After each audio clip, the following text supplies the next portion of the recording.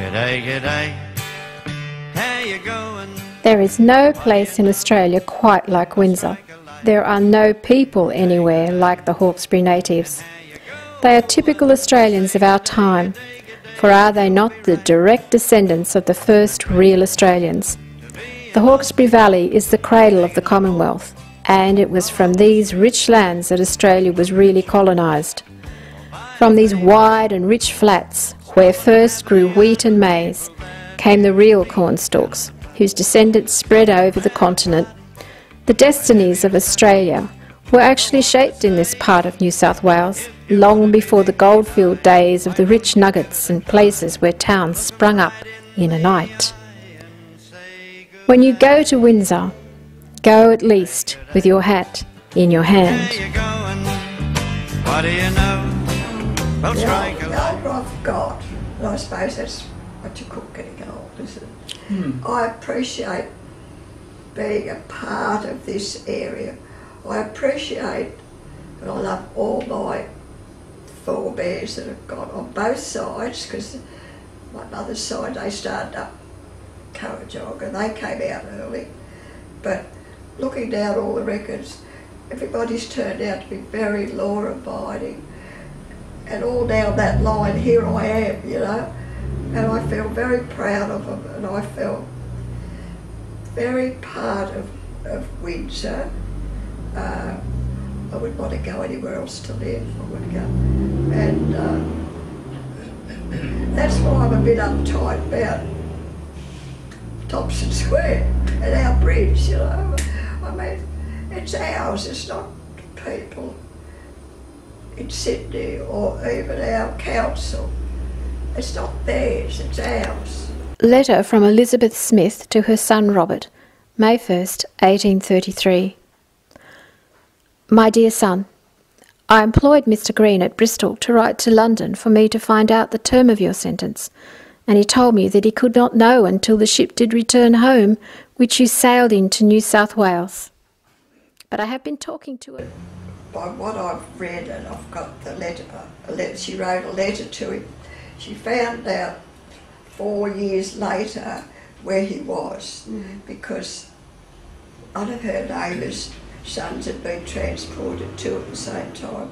You're Robert Smith, Yeah, and he was a he was a convict, wasn't he? yeah. And what what what did he get sent out for? He was an ostler. Yes. I didn't know what that meant, so I looked up at him. He was a groomsman for a horse. And Everly took the, the stories, he took the horse for a run, you know, to exercise it, and they accused him of stealing it. He was 18, so he was transported for life. He was married when he left. Uh, when he came here, he was assigned to John Grono down at Ebenezer, and uh, he, he ended up marrying John Grono's granddaughter, Margaret Hartley. With uh, Edward Hayes coming in 1834 and his pardon in 1847 till we get to your grandfather who was known as Ted Hayes. Ted, yeah. Yeah. That's right. And they weren't on the first fleet, No. you know, they weren't that far behind. Grandfather, yeah, he was a watchmaker and a carpenter.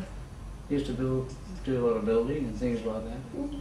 So he's ladder on his push bike and ride down to, Oh, ride down to Riverstone and do a job. Yeah. And, uh, grandfather, not much I know about grandfather. Um, he died at 88. He uh, went to hospital with a very bad cold and walked home without his shoes, in his pyjamas and got pneumonia.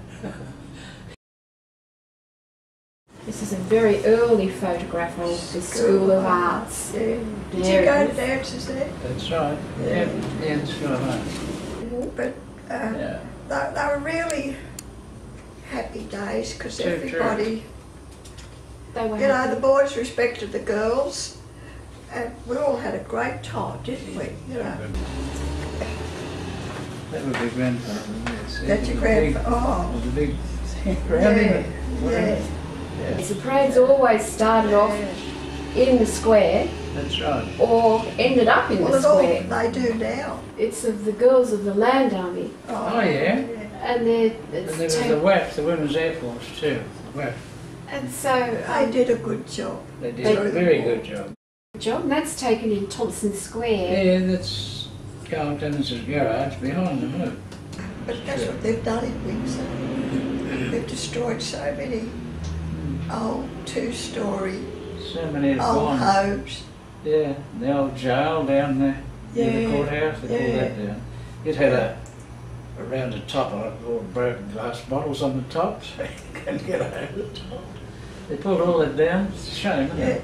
They pulled it all down. Can I say now they're going to pull out Yeah, Thompson no Square kidding. down to destroy Yeah, it. yeah. The building's looking like this, with no balconies. Um, Yeah, well, see, you can see where the balconies, the timber was there. That's Yes. right. The council, didn't they, in their wisdom, Yeah. Yeah, the wisdom was right. uh, they had all those some, those posts removed. Well, that took the balconies away because there's nothing to. the bicentenary activities in 1988, and um, there's a whole group of people, and I think at that particular time there was a, a gathering of Mm. um, old Hawkesbury Oh Families. yes, we all got Mhm. dressed up in our little, in our aprons and our long Yeah, skirts. Yeah. right. In 1994, Windsor held its Back to Windsor bicentennial celebrations. It was attended by 10,000 descendants of the original families.